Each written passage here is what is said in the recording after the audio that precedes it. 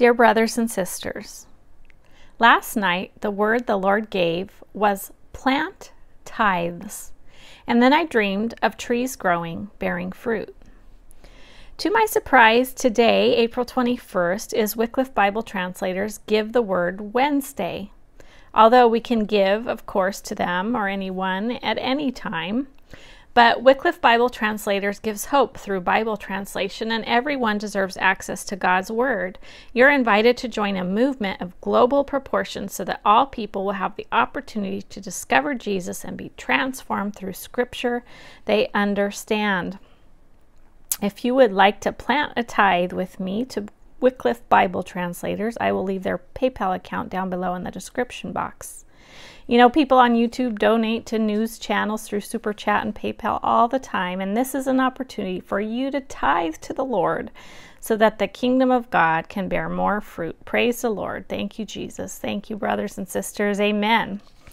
Last night I had a dream of a person whose name is Victory. It was a Greek name. I kept expecting him to come, but I didn't see him yet, and we were moments down to the wire, and people were getting nervous. I saw perhaps the longest line I'd ever seen of Muslims waiting for something as well. I saw a checkpoint while people were waiting to fly out.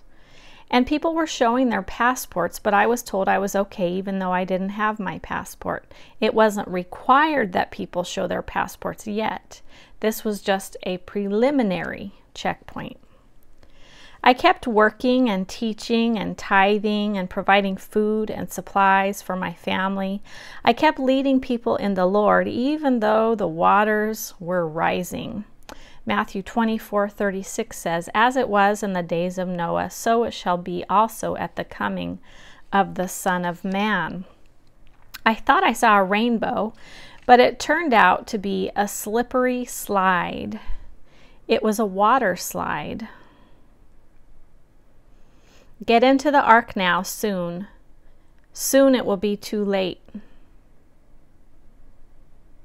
For God so loved the world that he gave his only begotten Son, Jesus Christ, Jesus the Savior, that whosoever believeth in him, Jesus the Messiah, will not perish, but will have everlasting life.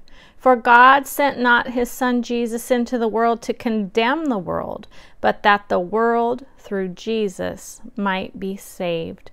Praise the Lord. Thank you, Jesus. Come quickly. Maranatha. Amen.